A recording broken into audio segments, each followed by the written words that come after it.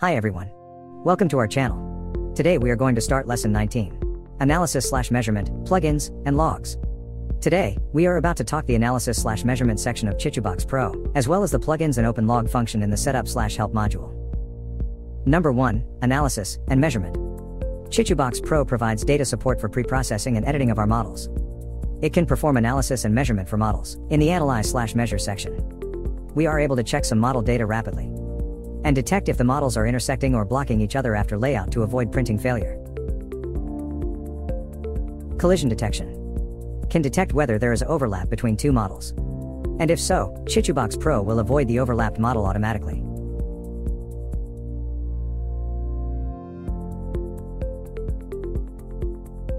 Display size.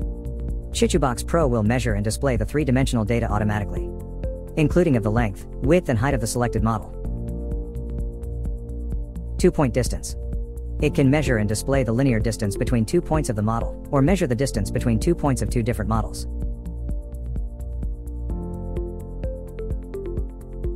Point to plane distance, which measures and displays the distance from a point to a flat surface.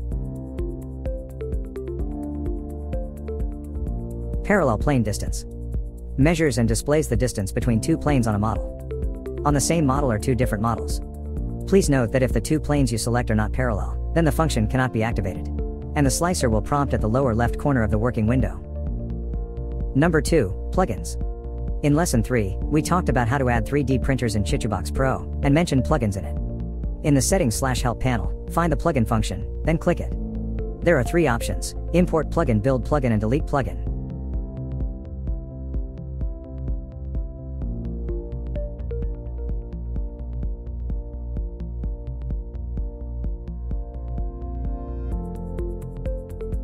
Please note that if the printers were added by plugins, there is a prerequisite that the machine manufacturer has developed plugins adapted to ChituBox Pro for.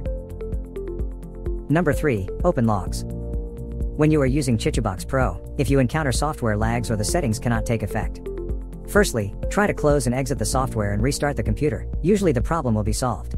However, if it still doesn't work, we can check ChituBox Pro logs to find the possible origin of the problem. Or you can send us an email with the log files to support at chitubox.com. ChituBox team will find out the issue for you. The logs is in the settings slash help panel. If you can't open the path directly from ChituBox, you can access the path by opening Windows File Explorer. You can also try to copy the path as follows. Just replace this part with the username of your PC. Okay.